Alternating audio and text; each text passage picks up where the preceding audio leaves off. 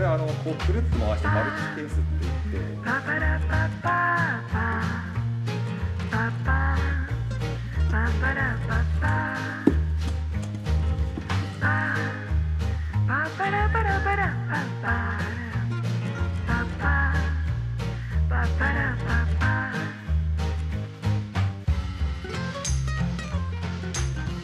その商品を持ってもらった人が喜んでもらえるようなことを、えー自分の中で考えてそれを形に落とし込んでるっていう感じで。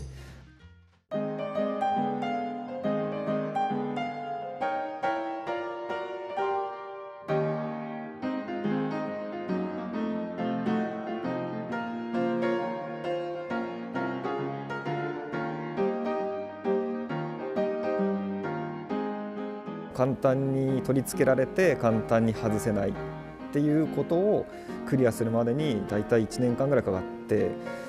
製品にできたっていう商品です。はい